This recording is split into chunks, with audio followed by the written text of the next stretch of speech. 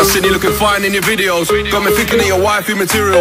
I don't know what it is or why I'm so into you. Though I want know about my side if it's in you. And I wanna tell you something, don't take this wrong, but I think you look better with no makeup on. Can I have three minutes of your time, please, babe? And I promise.